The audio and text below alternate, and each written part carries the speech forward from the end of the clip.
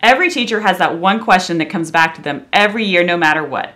One of mine was always on the metric side of our ruler, coming up and being told, my ruler only measures in centimeters. Or if this was a little mm here, being told, my ruler only measures in millimeters. Then we'd stop again and go back over as to how the ruler showed both. So let's go through and look at those. Here we start at zero centimeters. The ones that are marked with the large numbers are my centimeters, and the small ones in between are my millimeters. So this one little red mark here represents one millimeter, and then these blue marks here represent one centimeter. It takes 10 millimeters to get up to one centimeter. So 10 millimeters is worth one centimeter.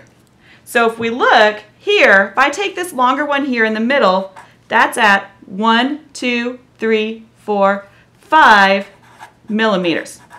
Okay, that's still in centimeters though, because I know it takes 10 millimeters to make a centimeter, and I have five of them.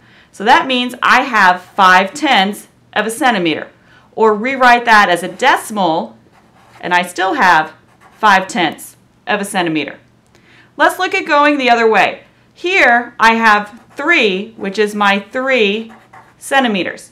Well, I know that it takes 10 millimeters to make a centimeter. So if we count 10, 20, 30, 3 centimeters would also be the same as saying I have 30 millimeters.